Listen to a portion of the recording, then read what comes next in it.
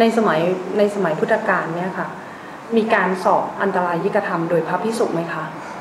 เริ่มแรกนะคะเริ่มแรกเนี่ยเริ่มแรกที่จะเกิดคดีขึ้น ดั้งเดิมการอุปสมบทภิกษุณีกระทำโดยพระภิกษุสงฆ์มาตลอด จนกระทั่งมีเคสของผู้หญิงคนหนึ่งนะคะมีกรณีหนึ่งที่ผู้หญิงคนนี้ไม่ตอบอันตรายกธรรม ที่ไม่ตอบบอกเหตุผลด้วยเพราะว่านางเขินอาย เพราะว่าจะต้องมาตอบคำถามอันตรายกธรรมต่อหน้าพระภิกษุ ผู้ชายทั้งหมด และไม่ใช่พระผู้ผู้ชายธรรมดาพระเป็นผู้ชายที่เป็นพระด้วย นางก็เกิดอาการเขินอายคำถามอะไรหรือที่จะทำให้นางเขินอาย อันตรายก็ทำนี้สำหรับพระภิกษุมี 13 ข้อสำหรับพระภิกษุณีมี 24 ข้อ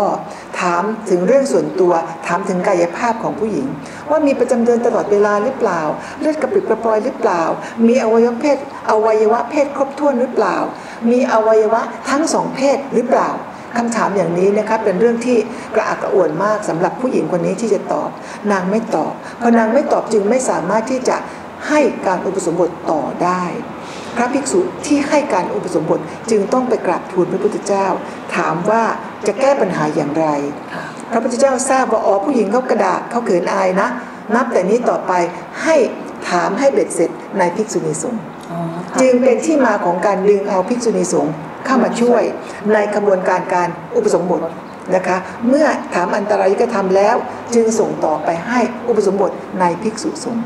อ๋อ ก็คืออย่างนี้ที่เรียกว่าบริสุทธิ์บริสุทธิ์ในภิกษุณีสงฆ์และส่งไปบวชในแล้วก็แล้วเมื่อเมื่อไปบวชในภิกษุสงฆ์ก็ต้องประกาศให้ภิกษุสงฆ์ทราบว่าผู้หญิงคนนี้บริสุทธิ์ในอันตรายกธรรมแล้ว